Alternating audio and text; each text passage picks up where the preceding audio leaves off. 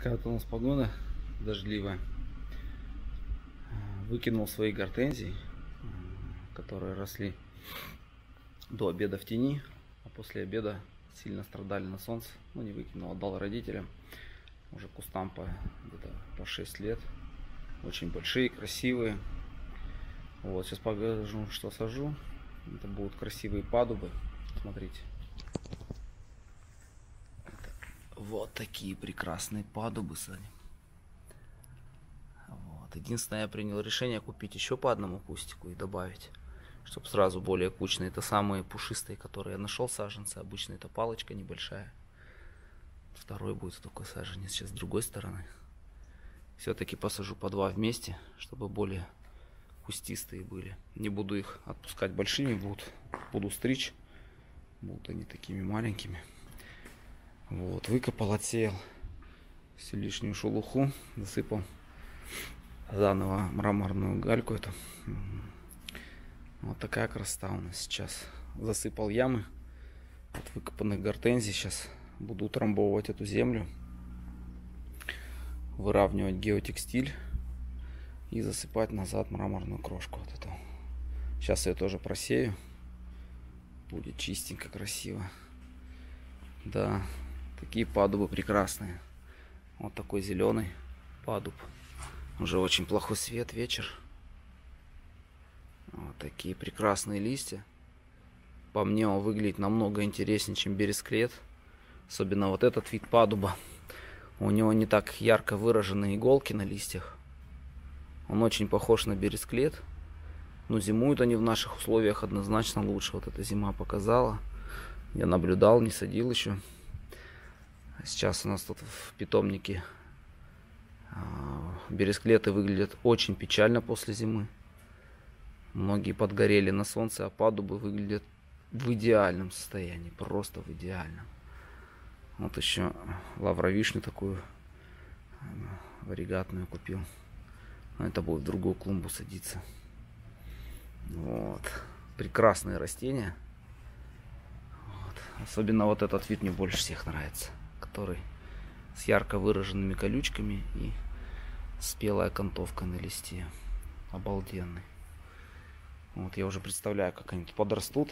Гортензия прекрасное растение.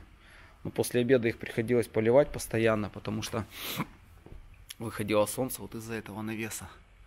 Вот здесь после обеда и начинало палить беспощадно все это.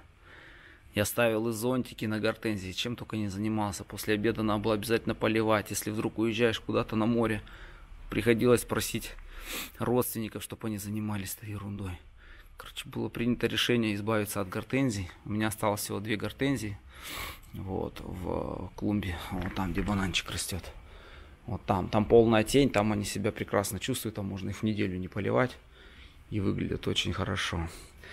Все, больше гортензии. Вот еще одну купил, которая максимально солнце выдерживает. Очень низкорослая, посажу там тоже в одно место у меня есть. Затененное, возле бамбука. Вот. Но я просто без ума от этого растения. Очень красивое. Наверное, одно из самых красивых вечно зеленых растений. Еще и прекрасно зимует в наших условиях. Я долго думал, что сюда посадить очень долго.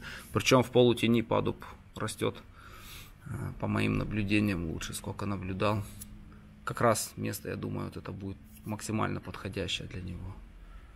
Вот, осталось сейчас все это дело привести в порядочек и посадить. А эти впадубы еще посажу, наверное, вот в эту клумбу куда-то потихонечку там посмотрю.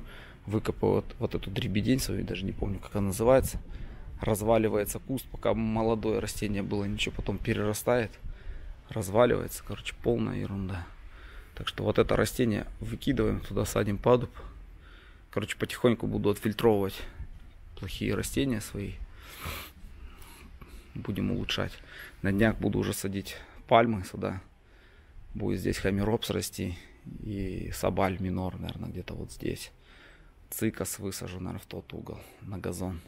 Потихоньку газон все-таки будем заполнять, потому что хочется более зеленую лужайку.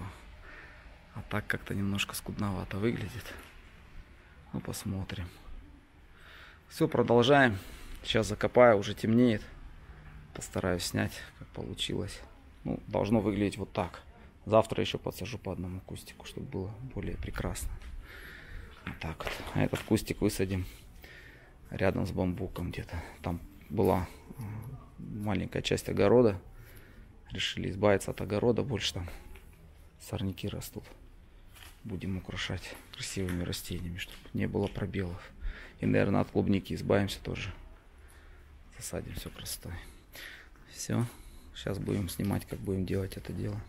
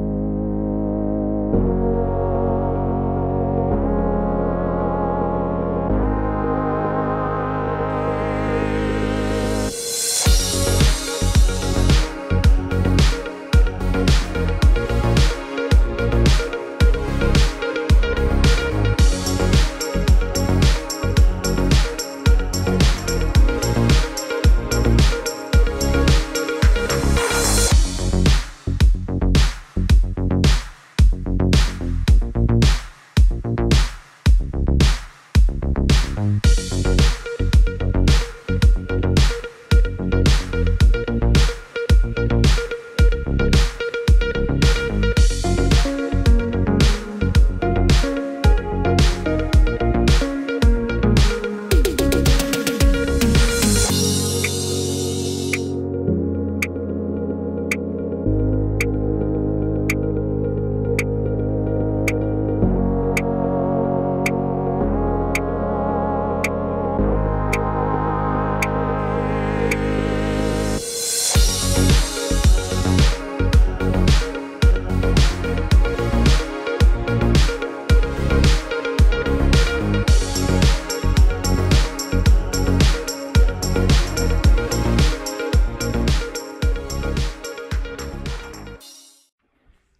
снова что мы имеем.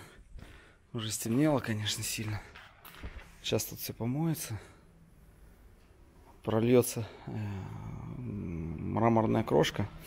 Потому что, когда ее переворачиваешь, просеиваешь, всегда она чуть-чуть пачкается.